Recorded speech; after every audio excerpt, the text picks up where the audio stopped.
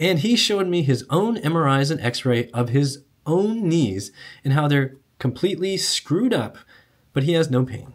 Then we should see that the people in the group who got the real surgery should get much better results, right? Like their knee pain should be much better. They should just, everything should be better. Range of motion, all kinds of metrics should be better for the people who got the real surgery. Today, we're going to be talking about knee meniscus tears and knee pain and what you should do if you have a knee meniscus tear. This is from a totally non-medical perspective, but we're going to look at medical research to arrive at this non-medical conclusion. We're also going to be talking about the story of a guy named Pedro who lives in Portugal and his story with knee meniscus tears and what his doctor told him. And we're going to look at a little bit of the research so you understand why the idea of knee meniscus tears and knee pain and knee surgery going all together as one wonderful trifecta may not be so good. So let's start off first with you. You might have knee pain and you might have been told that you have a knee meniscus tear and maybe your knee locked up. I've been there. I've actually had my knee lock up really bad the same way while doing some heavy lifting. And you may have been told that the only solution to this knee meniscus tear problem is to get surgery to fix it because surgery is the only way to fi fix a torn meniscus. Implicit in this is that the knee meniscus tear is the thing that is causing the pain and is causing your range of motion issues. Now, you would then think that there is ample evidence that connects knee meniscus tears and actual symptoms like pain and immobility. You would also think that there are a lot of studies that show that surgery for knee meniscus tears is effective and resolves the pain and gets you your range of motion and full strength back. You would be surprised, though, to find out that there are actually no studies that show that meniscus tears are related to knee pain and knee dysfunction. There may, might sometimes be some small correlation, but in fact, tons of people, very high percentages of people, walk around with knee meniscus tears with zero symptoms. It's called asymptomatic meniscus tear because meniscus tears can be in people's knees for years and years and years or decades and cause abs- absolutely no problems. I will provide links in the description box down below.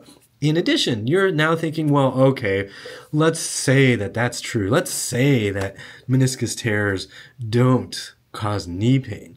Well, why is it that knee surgeries for meniscus tears are so effective at getting rid of knee pain? That's a great question. The problem is that there have been studies that looked at knee meniscus tear surgeries and they've actually compared those real surgeries to fake surgeries. So what they do is they take two groups and they say, okay, you guys, you guys have knee pain, you have knee meniscus tears. We are going to fix your knees. One group is going to get the real deal surgery to fix your meniscus tear. The second group is going to get a fake surgery. Nobody's going to know who's in what group. Okay. So if you're in the fake surgery group, they're still going to knock you out. All right. Still going to go through all of the song and dance of a real surgery. They're going to put you to sleep, wake you back up. There's going to be some small little incisions as if you got the real thing. And then the other people get the real thing. And guess what they found? If in fact knee meniscus surgery is super effective and, and advisable, then we should see that the people in the group who got the real surgery should get much better results, right? Like their knee pain should be much better. They should just, everything should be better. Range of motion, all kinds of metrics should be better for the people who got the real surgery. Unfortunately, what we find is that the two groups are basically the same, like within one or two percentage points, uh, the same. And they've done these studies and shown, whoops, the surgeries, the, the real surgeries are only as effective as the fake surgeries. So is the surgery doing what we think it's doing? And the answer is obviously no, it's not because the fake surgery is not doing the same thing as the real surgery other than making people think they got the best care possible, right?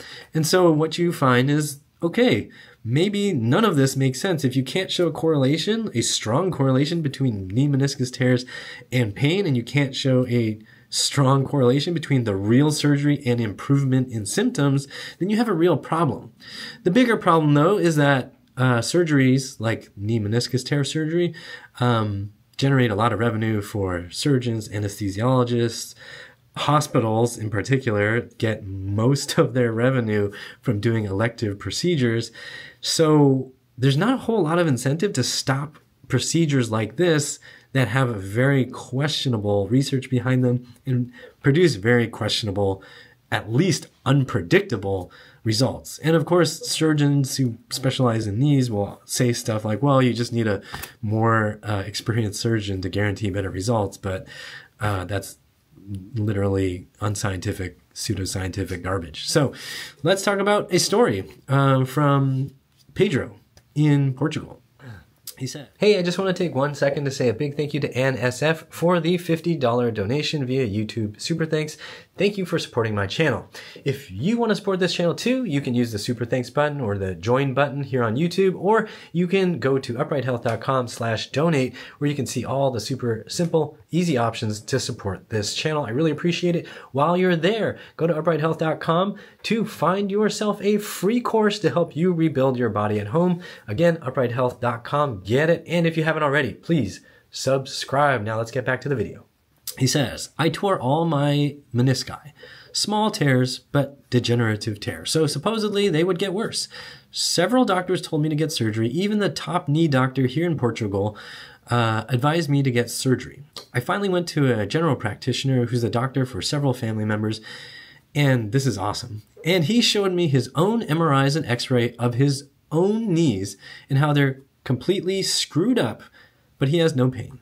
He told me the tears would heal. Thank God I listened to him because they did, and I never needed surgery whatsoever. Needless to say, he is my current doctor, and I always go to him for a second opinion. So that's an awesome story. I don't, uh, it's interesting. One part here is he says that the tears would heal.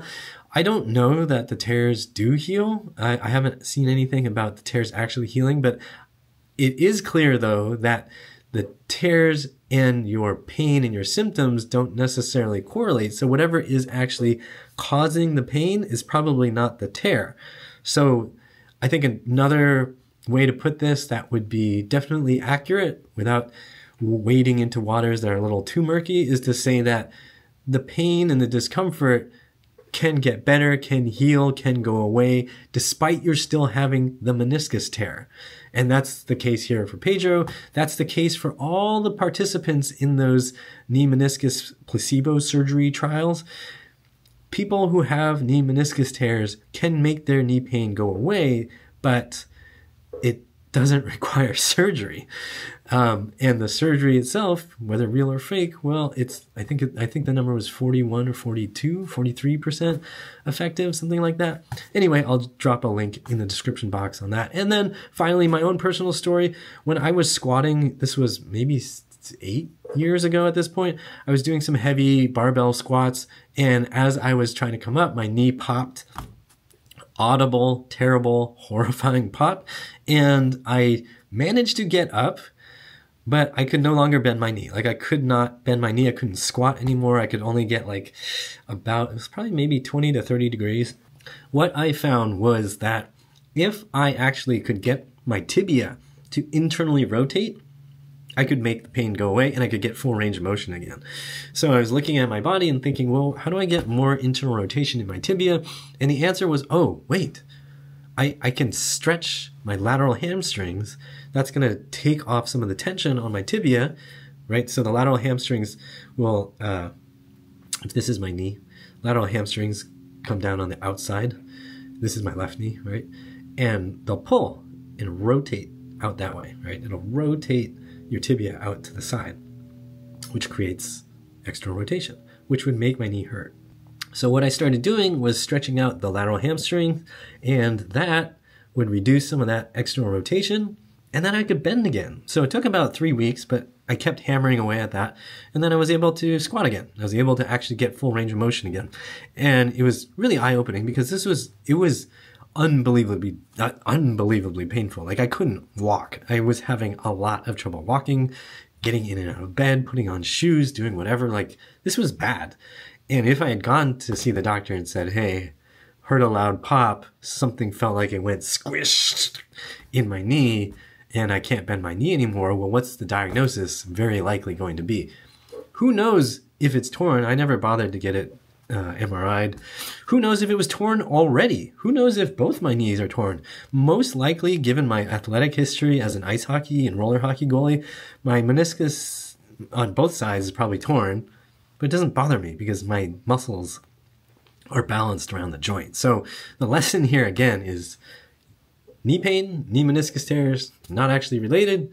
Knee surgery and relief of knee pain, also not related well, I mean, just as related as with fake knee surgery. So maybe the better choice here is to do something with the muscles around the knee rather than rush to start cutting things up and commit to surgeries that are extremely expensive, but really good for the bottom line of everybody involved in providing that surgery. That's my opinion. I wonder what your opinion is. You can drop a comment down below. Keep it respectful, respectful, please, please please. I know this is the internet, but let's let's be respectful.